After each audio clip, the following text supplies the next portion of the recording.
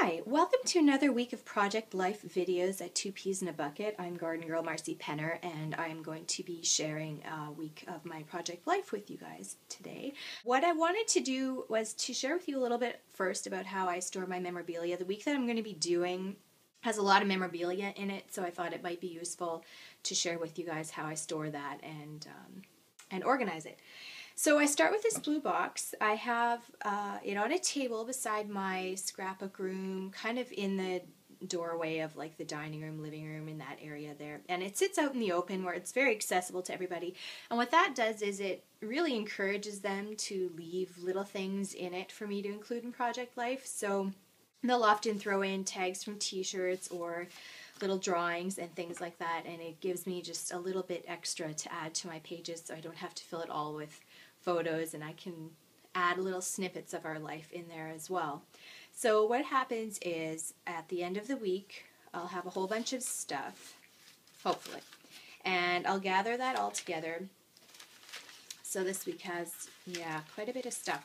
So we've got some um, drawings, some a grocery list, some receipts from a trip to the city. And so what I'll do is I'll clip it together and I'll take it at the end of the week with my planner, which is here. Um, I'll link you guys up to this uh, in the comment section, but what it is is a planner that has sections for each day and then a template drawn of a typical uh, page that I'll use, and sometimes I do change the pockets, but that's but this is just a typical week. Um, so throughout the week, I'll be writing down just little notes of things that have happened, or if someone says something hilarious, I'll write that down, and I'll often include some of the memorabilia at the top page of the week. Um, there's a little memorabilia section, excuse me, um, just so that I remember to include it. So I'll take my memorabilia and my planner pages to my computer and I'll open up my photos and I'll tag all the photos from that week that I think I might use. And then I'll go through them again from there. And I'll start to write in the spots on my template, the photos that I'd like to use. And then I also will include spots for my memorabilia to go. So basically, when I've done all this, I have a very good blueprint for the week that I'm going to do, a very good jumping off point. And some things may change, and I'm not worried about that. I'm okay with that. Um, but it gives me somewhere to start, and uh, it makes the starting process and like the first third of my pages a lot faster. So that is what I do with my memorabilia, and I will share uh, how we put that in a page later. I start by pulling some label stickers, stamps, notepads, washi tape, and other little things that I think I might use on my spread. Lots of blues, oranges, and yellows. I start by adding my photos, journaling cards, and any of the memorabilia that I had collected throughout the week. I usually stick pretty close to what I had written down in my planner, but if I want to move anything around, it's right about now where I do. So I'm going to add a calendar card from Studio Calico, a note paper, a stamp, and a tag, and I'm going to start from here. I'm going to use an October afternoon journaling die cut from the Cakewalk collection, and I'm going to add my journaling explaining why I'm keeping a grocery list. I'm going to stamp the date on using a Studio Calico roller date stamp, which you can never have too many of in my opinion. And I'm going to attach that to the grocery list with a paper clip. There's no rhyme or reason as to which pocket I pick next, so I'm going to take this 3x4 photo and just add a little label at the bottom. I'm going to stamp the date on it, write down the location, and call it done. Photo at the bottom has a lot of dead space in it, so I'm going to take a tag from the Cakewalk Miscellany pack and I'm going to journal on it. If the background of the photo were lighter, I may have written just directly on there, but I didn't think my journaling would stand out this time. So I'm going to stamp the date on this tag as well and adhere it to that space.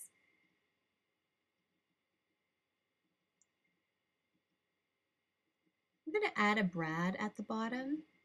I love the October afternoon brads that come in different sizes. I use a lot of brads and wood veneer in my Project Life spreads.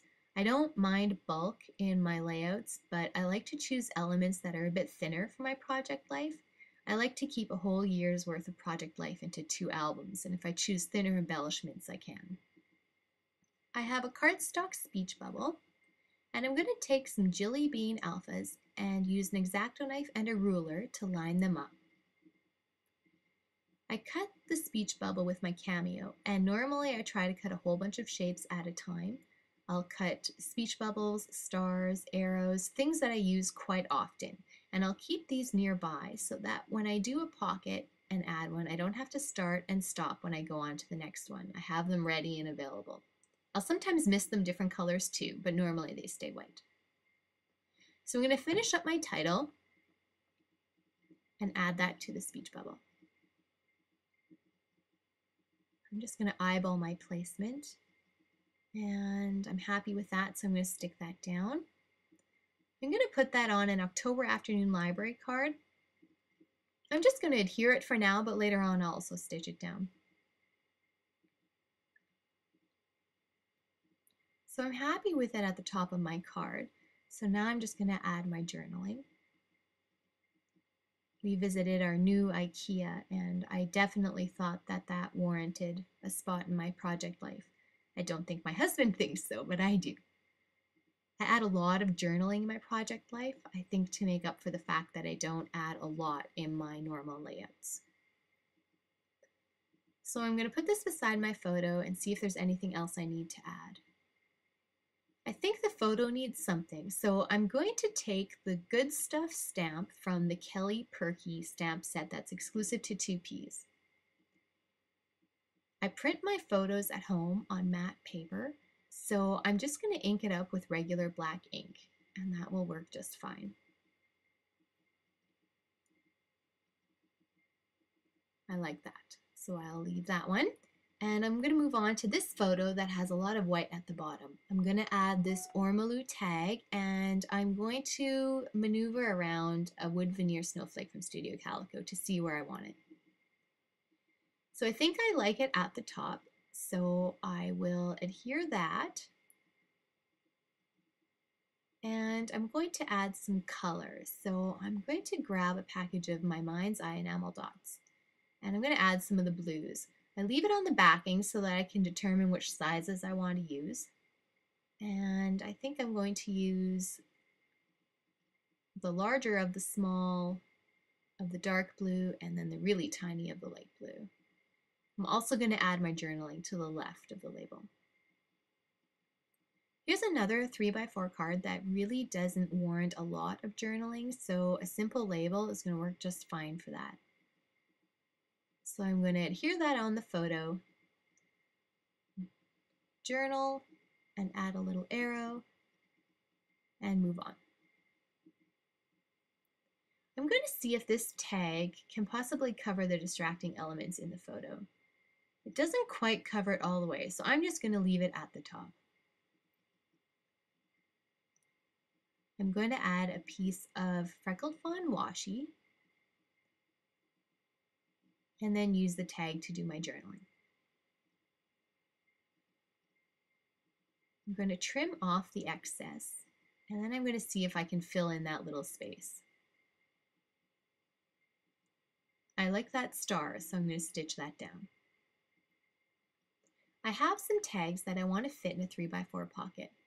So I'm going to position those and I'm going to get a piece of pattern paper to see what I would like to use for a background.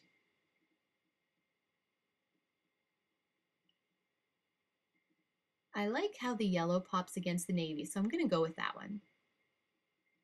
So I'm going to adhere those down so they don't fly around in the pocket. And I'm just going to journal at the top just quickly about what those tags represent. I like to include a week in review card in every spread, so this time I'm going to use a tag. I'm going to mark where I want to trim it, and I'm going to use either the Week in Review stamp from the Kelly Purkey set or a stamp from the KI Memories set. So I'm going to take that out and lay that over and see if it fits. I like the looking back stamp and it fits. So I'm going to use that one. I'm very happy KI Memories is back in making scrapbooking products. They have always been one of my favorite companies. So I'm going to put that on my acrylic block, ink it up, and just line it up one more time before I press down, just to make sure. And I like how that looks, so I'm going to press down. And I'm going to add my journaling. Um, my Week in Review cards, I usually use a checklist format. I'll usually include things that didn't have a photo or weren't big enough stories to warrant a pocket on their own. So that could be things like my son's birthday supper with his grandma or my husband building me a tripod. Little things like that that aren't big events, but they complete the week. So I'm going to finish journaling on this side of the tag. And then I'm going to trim it down to size and make sure that it fits.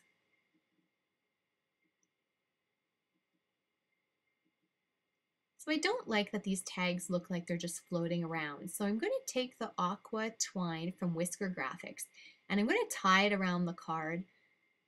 I think it's going to keep the tags a little bit grounded and not and not just floating there. Yeah, I like that much better. I forgot to mark down the date on the calendar, so I'm just going to mark that with an arrow. And I'm going to take this Evalicious stamp and I'm going to work on this next card. I want to stamp the stamp on the top part of the note paper. I love these notepads from Kikkerland. They're the perfect size for Project Life.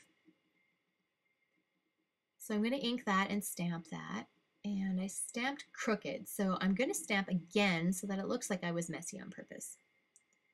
When I have two 3x4 elements that are going to fit in a 4x6 pocket, I usually take them and just adhere them to a random index card. This will help them just not slide behind each other or get shuffled around too much. So I'm going to position that properly and then I'll just trim off any extra. I'm going to add my journaling and I'll be filling up that whole spot so I don't have to worry about adding any other elements to complete that portion. So now what you didn't see was I dropped an ink pad on my photo, so that's why that KI washi tape is there. Um, but now I want to add a wood veneer star to the middle of my camera. It just needed a little something. So it was either going to be a gem or a star, and I think I like the star, so we'll do that. I don't think the tag in my calendar pocket looks quite done, so I'm going to take the memo brad from the 9 to 5 set from October afternoon, and I'm going to put that in the hole of the tag, and hopefully that will add a little bit extra. Yeah, I like that much better. So we'll add that in and tuck it back. This was the memorabilia that didn't fit in the smaller pockets of my spread, so I'm going to tuck it into a 6x12 page protector, and I'm just going to shake it so that they sit along the edge, and I'm going to stitch along the side so that they don't move around. So here you can see where I've stitched it, and I'm just going to take the excess and trim that off with the scissor. I'm going to use an October afternoon label and I'm going to stick the label directly on the page protector. And I just want to journal a little bit about what is in the page protector.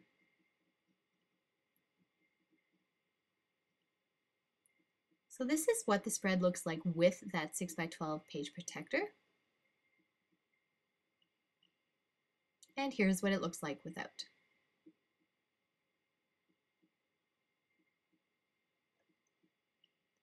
So thanks for watching, and I hope you're enjoying the Project Life weekly series.